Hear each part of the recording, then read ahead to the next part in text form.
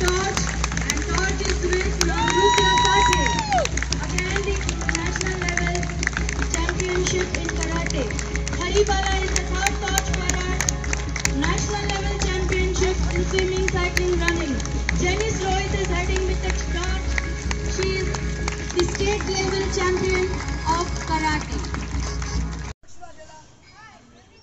I, Harikaka, on behalf of all the participants of the games, take an oath that I will play the games in the true sportsman spirit and will hold the honor and dignity of these games.